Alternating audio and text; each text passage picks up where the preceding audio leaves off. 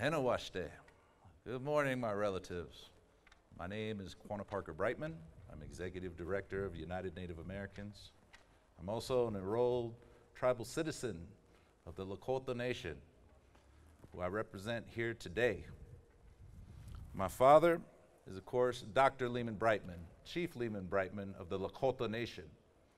He was awarded a war bonnet by Chief Fool's Crow 50 years ago on this day when my father led a group of activists, brave activists, who stepped up and took over this mountain peacefully, not with guns, not with violence, but just laying their bodies on the line. Some of those leaders I was hoping would be here today, but I know they're elders and I know they're a little intimidated by this particular virus that we're dealing with, this pandemic we're dealing with right now that's been out of control for the whole world. Now, I flew 2,000 miles to come here and commemorate this event in honor of my father, my mother, and my Oyate, my people. I'm very honored to be here. Now, I would like to give you a brief synopsis of who we are as UNA. We were founded in 1968 in the Greater Bay Area, San Francisco. We were involved in the takeover of Alcatraz, Wounded Knee, a couple long walks across country. We led a group one time that took over this place, Mount Rushmore, 50 years ago on this day. And that's why I came here today, to educate each and every one of you of our sovereign rights. Why is there a double standard of justice in this country? Why won't you recognize the 500 treaties that are international law? Through your Constitution, the federal government is supposed to honor all treaties made with nations. Well, we have sovereign nations here, 500 tribes, and this is all of our land. From the East Coast to the West Coast, this is all of our land as indigenous people. You colonial people need to stop with your racist attacks against people of color. You need to acknowledge the fact that we're all created equal. We are all created equal here in this country. And it's time that we come together to solve these problems that we're all dealing with right now. The racism needs to stop. The double standard of justice needs to stop. The police killings of all of our people need to stop. You know, I was proud to be an American, man. Let me tell you something. I was very proud to have dual citizenship in this country. Being an American and being a Lakota citizen. I have dual citizenship, just like many of my people. And bottom line, man, I'm really grateful to be here. I'm honored to be here. But I'm also here to bring voice to what's going on in our country and to bring resolution to what's going on in our country as far as the double standard of justice and the fact that indigenous people, our sovereign rights, should be recognized and enforced by the states that every one of these people reside in. Every county, every city, every city ordinance should be honoring indigenous people all around our country and around the world. My father stood up many years ago, 50 years ago, and took over this mountain. I was, I'm so proud of him for that. My father did so much work. He started the first international newspaper called The Warpath for Indigenous Issues. That was the first international Indian newspaper.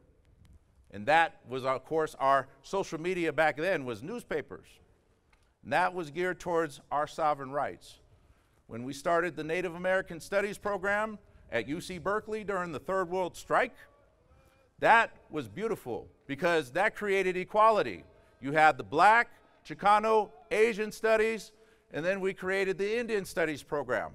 Now we have thousands of Indians who've become doctors, lawyers, engineers, and mastered this oppressive system. But you won't acknowledge that.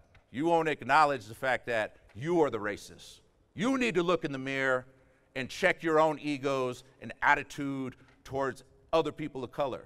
Just because we have different skin pigmentation, we have different beliefs, doesn't mean that our beliefs are wrong. But if you're going to attack us, you best believe we're going to stand up for our rights. And we have two treaties here for my nation that guarantee us this land as long as the grass grows, the water flows, and the sun shines. My ancestors didn't come to your people and say, hey, let's negotiate a treaty. Hey, we, we, we need to, we need to uh, you know, negotiate with you guys. No, no, no, no, no. Your ancestors came to us. Your ancestors came to us. Now put yourself in this position. If your ancestors came to, came to you and said, hey, we want to make peace with you, we sign this treaty, we will stop warring with you, we'll stop killing your people, we will stop bothering them, we will let you live in peace. Okay, cool. That sounds good. I think all of us would definitely love that. Then, years later, they discovered gold up here. Hearst, William Randolph Hearst, built the first illegal mine here in South Dakota. William Randolph Hearst, and of course, his racist fascist regime, has been illegally mining up there for over 125 years at the Homestake Gold Mine. Now, when you think about the fact that gold is going for $4,000 an ounce, $4,000 an ounce, and you consider the fact that they stole over 100 million pounds of gold up there, think about how much money they owe us for stealing those natural resources. They were stealing those natural resources and not even giving us a percentage. Our people are living in dilapidated housing. And when it gets winter, they don't even have money for propane, they don't have money for food. And bottom line, that is sickening. I'm just using my words. That's all I'm doing is using my words. I'm not using violence. And I'm not up here telling people, oh man, you should go get some guns and oh man, let's go take this over or oh, let's go provoke violence against each other. No, we don't need to do that.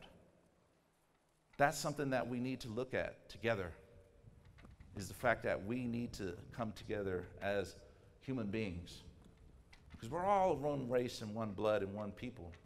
And it's time we begin thinking as one people.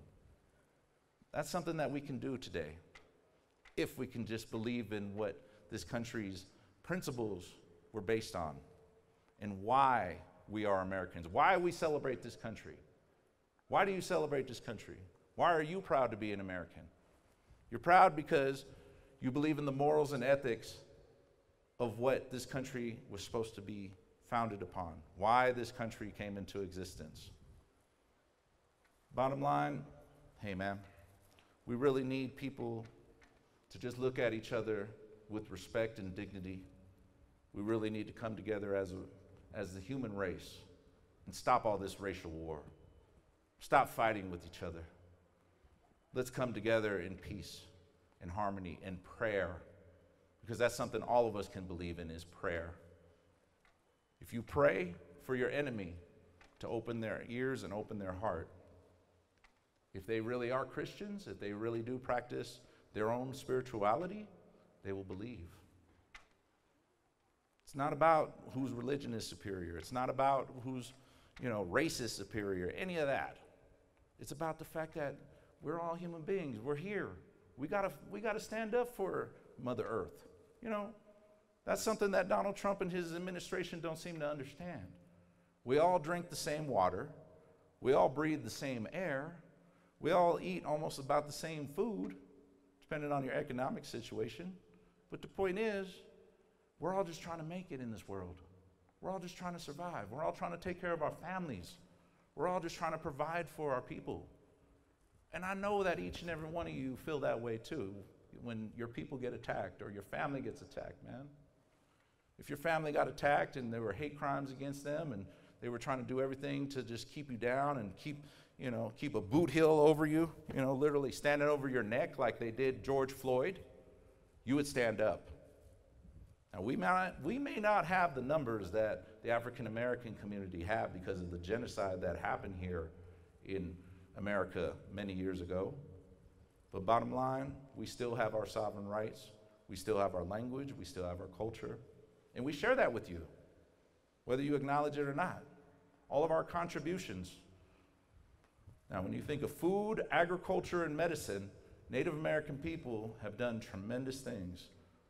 The Inca, the Maya, and the Azteca actually cultivated 62% of the world's food supply. Corn, potatoes, and peanuts are the three foods that most people eat daily. Who, where did that come from? That came from the Inca, the Maya, and the Azteca down south. Meanwhile, Donald Trump is saying, oh, well, we're not going to recognize your indigenous rights. We're not going to allow you to come into this part of the country, even though people, indigenous people have been migrating to different ways, north to south, east to west, for hundreds of thousands of years. Literally hundreds of thousands of years.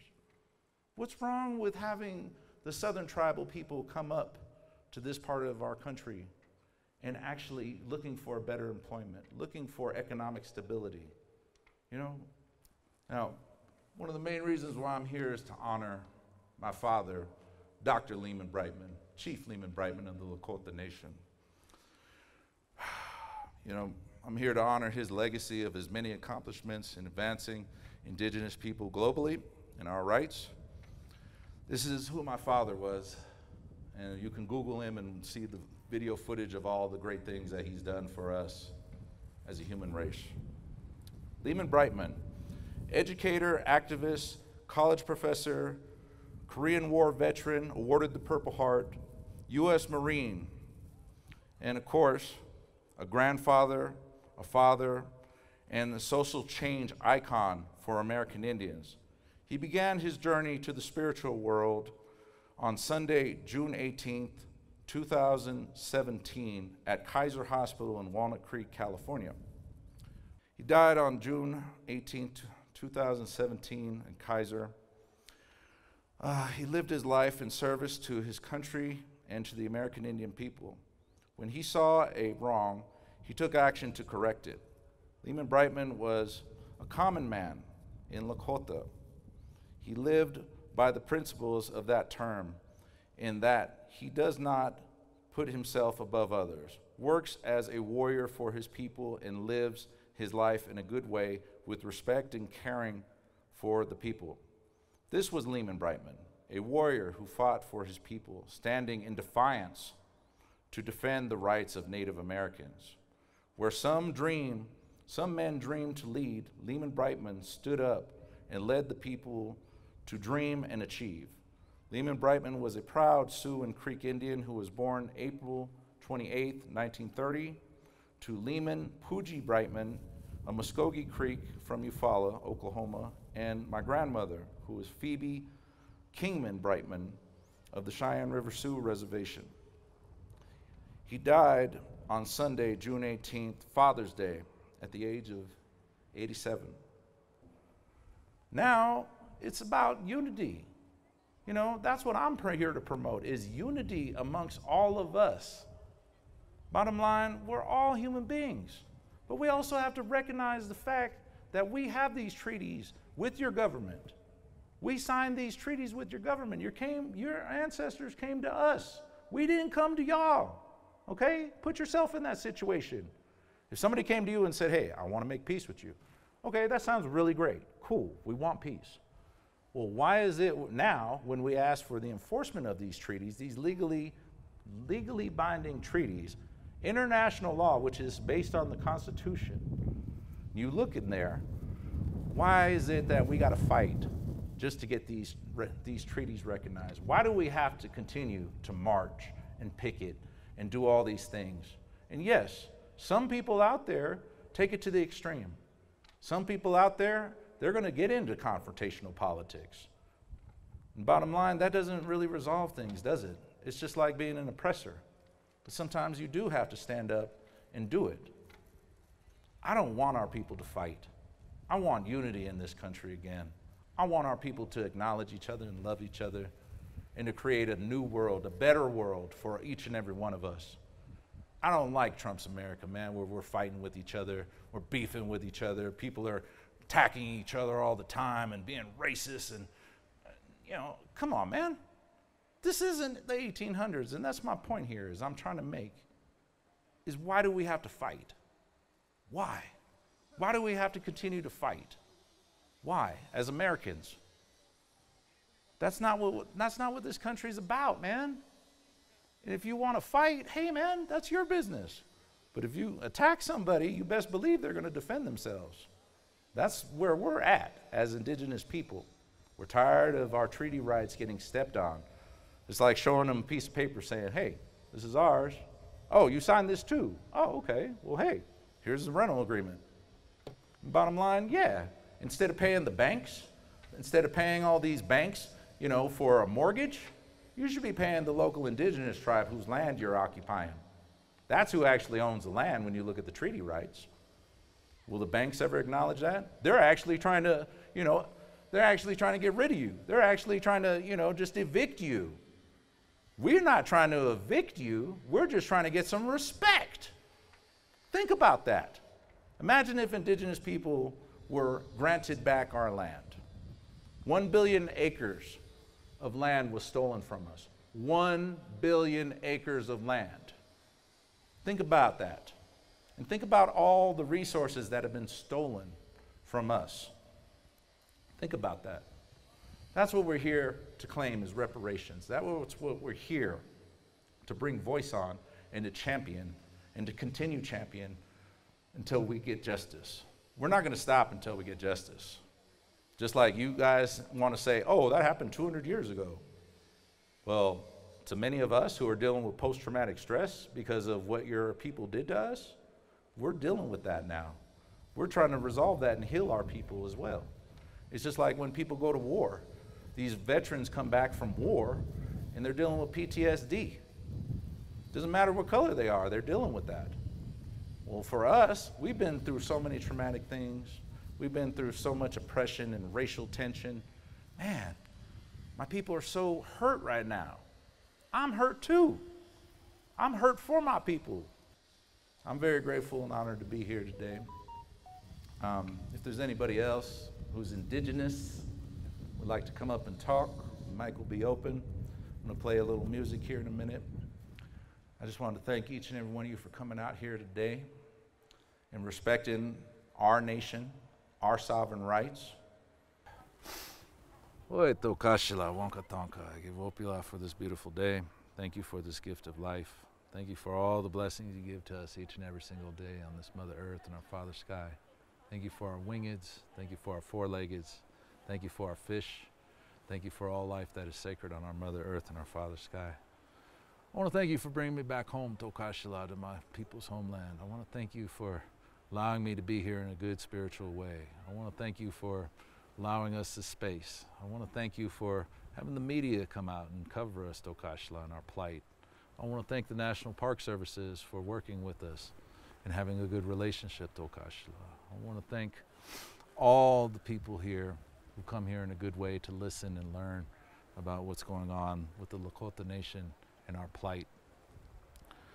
I ask, Tokashila, that you give us the strength, courage, and fortitude to continue to fight for justice, to continue to represent our people in such a good spiritual way. I ask that you open our oppressors' minds. I ask that you open our oppressors' hearts. I ask that you help them to listen to us with their hearts and to listen to us with, in the name of humanity, in the name of Jesus, in the name of Buddha, in the name of Zen, in the name of Tokashila, Wankatanka. I ask that you help us, please unite all our people. Stop this racial tension, Tokashila. I ask that you help us to honor our treaties and honor our people and restore our rightful land. Thank you. Home.